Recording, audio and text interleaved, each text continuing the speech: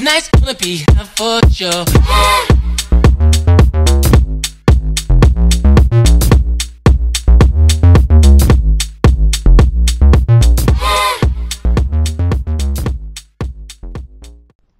You're probably like, what is wrong with this girl? But I was just trying to demonstrate that I have a five head, and so I have to section out a portion of my hair from the rest of the crochet braids to make a bang. We don't make excuses, we make shortcuts. Now, I'm gonna take this scrunchie. It's super big. I know, but I'm just gonna put it on my wrist or maybe my arm and just forget about it. Now, I am just gathering my hair into a very secure ponytail. Honestly, the best way to do this is by leaning forward. When you lean forward, the hair naturally begins to fall into the palms and the very tips of your fingers, making it easy to grasp just prior to securing your ouchless band or scrunchie.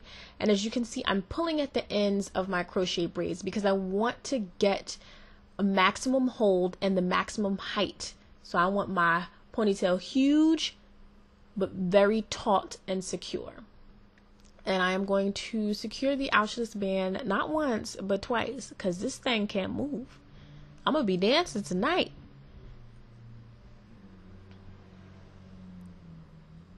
Now wait. Wait. You know what I told you about your edges. People do not believe in your hairstyle unless your edges are laid. If I am wrong, tell me now. So I'm just looking them down. Slick Rick. Yeah. And this little braid in the back, you're like, oh my God, what the heck? Like, what is that? And I'm like, wait, listen.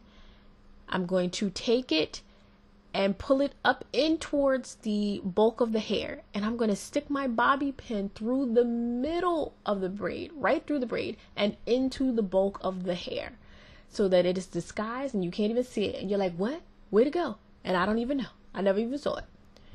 And then you're like, what is that hair right there? And so I had to bring it back.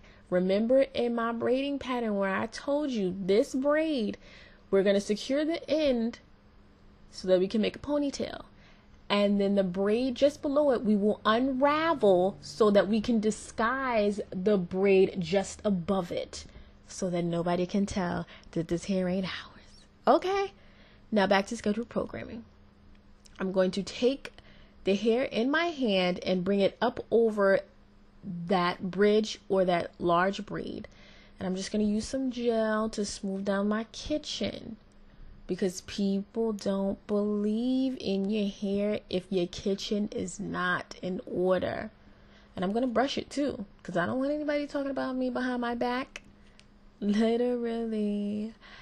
And I'm going to secure this bobby pin just above that huge bulky braid. And then I'm going to do the same thing on the opposite side. And you can see I am sticking the bobby pin into the hair so that less of it is showing. And when you're securing the very tips of your hair, you want to pinch them together and pull them towards the scrunchie so that they're at the very top. And the reason why you keep it at the very top is so that when you pull the hair down after you've secured your ends, the crochet braids will disguise any of your natural hair. So you don't even notice the transition. And look at that. Oh my goodness. Oh my goodness. This is my ponytail. I like it. I would rock it. And now I just feel like dancing. I hope you guys enjoyed this. Thank you so much for watching. Be well.